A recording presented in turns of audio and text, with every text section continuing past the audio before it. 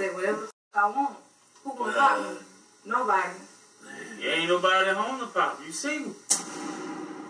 You can say what you want and go home by yourself. Well, yeah. I say whatever I want.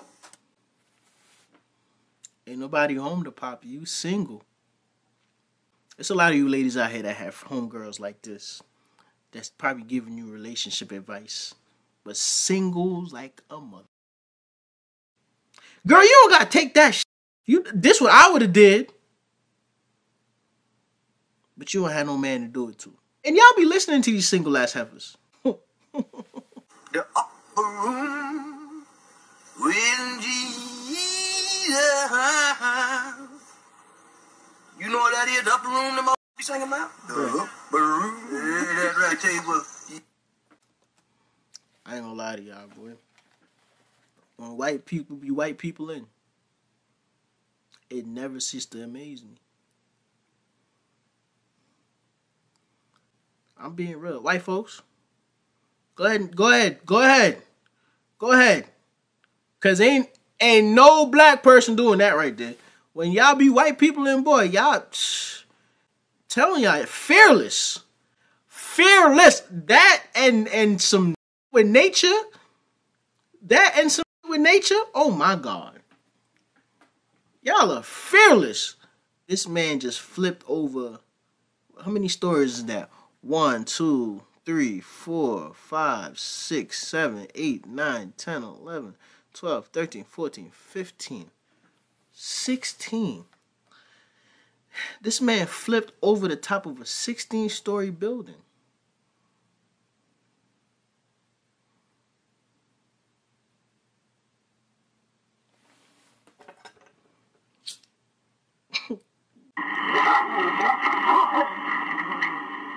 Hakan! Hakan! Come Hakan! Hakan! Every time I see somebody walking with their dogs not on the leash, I be thinking this finna happen to me.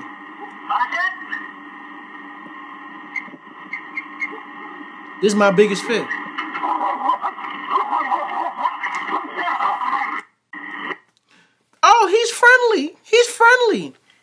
Every time I see somebody walking around with their dog not on the leash, I be this, this the first thing that run through my mind. I ain't gonna lie to you. Your dog run up on me. It's gonna be me or him. I- yes, I'm a human being. You feel me? And a lot of times I don't be in the mood. And to me, I feel as though sometimes dogs don't be in the mood neither.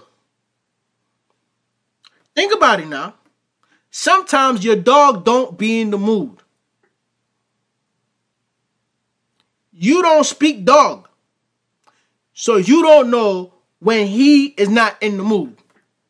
But you just decide to have him out here on a le- without no leash.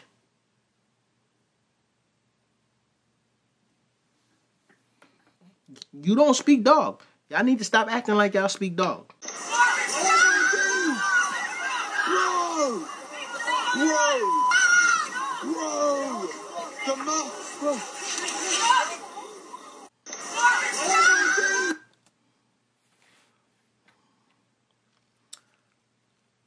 I hate bums. I think that I, I think that this is bum activities. Um, I don't know how many y'all follow ATL Scoop, but ATL Scoop be posting videos of these young kids out here in Atlanta driving up to people's cars, breaking the windows, going head first inside these people's car and taking bags, taking luggages with dirty clothes in it. Um, yeah, bro. I, I think y'all some bums, dog. Y'all some bums, and I pray to God that I don't walk. I don't walk up on somebody breaking into any one of my automobiles because it's gonna be slow songs and church bells for you. Now, some of y'all might be like, "Yo, this is harsh. Why you feel like that?" Yo, every single day I go to work, I risk my life. Not not just YouTube, like YouTube pays good money too, but my nine to five, one wrong move, one unsafe move. I'm up out of here. This is facts. So for me to have to go through all that, come home and, you know, spend my well earned money just to have you come take some shit from me, I'm sending you to meet your ancestors. Come with me to get a toe BBL. So this is the before. These are my generational toes. By generational, I mean I can't do shit about them because they've been passed on to me for generations. God damn, them However, things I can tough. slightly enhance them, and that's where we're at today. I'm a little shy because what Them if they make things fun of are me? tough. Inspection time. She took a good look at it. She said acrylic toe and a big one, full reconstruction on all of them. Time to get wet. What I love about my toes is that they are shapeshifters. They shapeshift into light bulbs, minions, Among Us characters, and the big one into Mike Wazowski. Please just trust the process. They talking shit. They talking shit.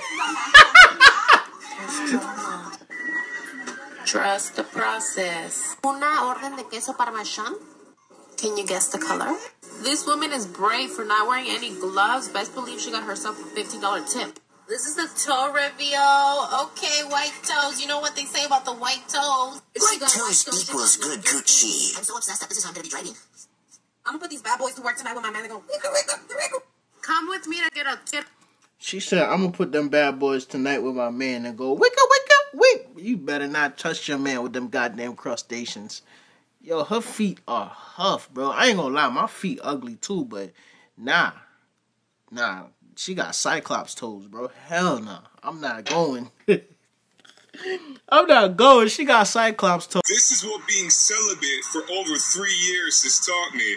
Your sexual energy is so much more powerful than you realize. We live in a society today where everybody treats their sexual energy like a joke. They're giving it away to computer screens, pornography, one night stands, giving it away to people who don't genuinely care about them and that aren't going to be their lifetime partners. See, understand when you stop wasting your sexual energy and instead you hold on to it, you beat that lust demon that has its claws in about 99% of people out here. See, when you finally beat lust and you are in charge of your own impulses and your own urges, your own sexual energy, you cultivate a level of inner fortitude, of strength, of vitality you never knew was possible. See, when I finally started retaining my seed and stopped giving away my sexual energy to people and fucking computer screens that didn't deserve it, guess what? That's when I really started to level the fuck up and make these big fucking improvements in my life physically, mentally, emotionally, financially, spiritually,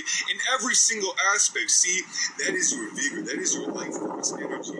Don't waste your sexual energy. Don't take it for granted. When you hold on to that and you allow that to build up within you, you find you are so filled with creativity, vigor, and drive like you have never felt before.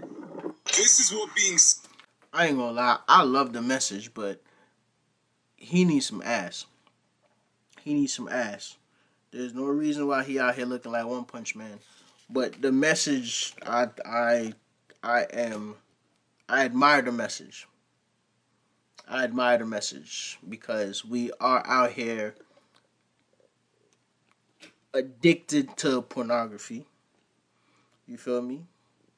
We are definitely out here being brainwashed by the internet and because everything is overly sexualized. Yeah, bro. But he need I feel as though he has reached his his um his pinnacle and it's it's time to reap reap the benefits of your celibacy. So sir, please go get you some coochie. Please.